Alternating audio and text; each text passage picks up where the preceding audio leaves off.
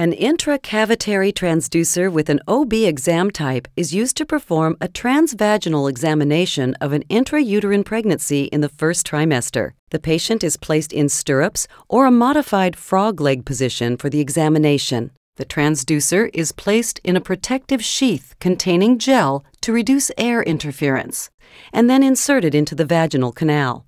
It is helpful for the patient to have an empty bladder to reduce uterine distortion and minimize discomfort for the examination. The uterus is a gray echogenic structure superior and posterior to the bladder. The endometrial stripe will appear as a bright echogenic line from the uterine fundus to the cervix. Posterior to the uterus is the rectouterine pouch, which should be evaluated for free fluid. The transducer should be swept from side to side to see the entire uterus.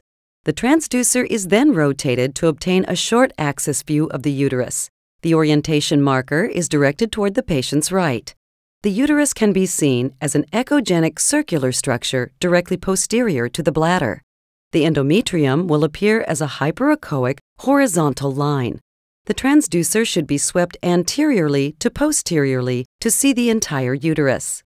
In a patient with suspected ectopic pregnancy, the presence of an intrauterine pregnancy makes the diagnosis unlikely.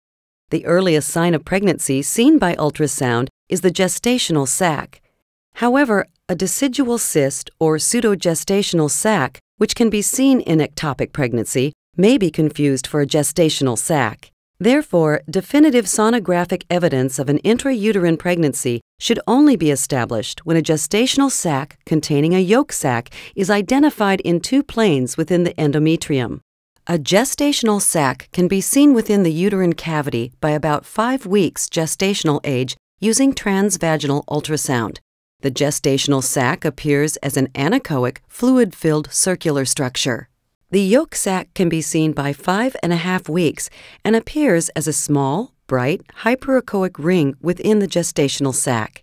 A fetal pole or fetus can be seen attached to the yolk sac by six weeks, and fetal cardiac motion should be seen after six weeks. If no evidence of an intrauterine pregnancy can be seen, the adnexal structures can be evaluated for signs of an ectopic pregnancy.